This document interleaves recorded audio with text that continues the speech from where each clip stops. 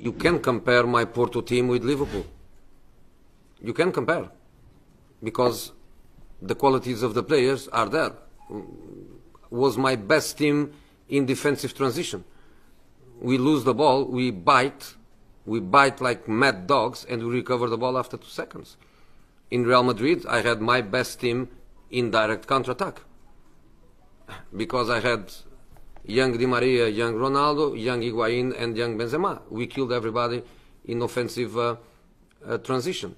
And in Inter, I had my best team in a defensive low block, where people like Materazzi, Samuel, Lucio, Cordoba, in a low block, you can be there five hours and you don't consider you don't consider goal.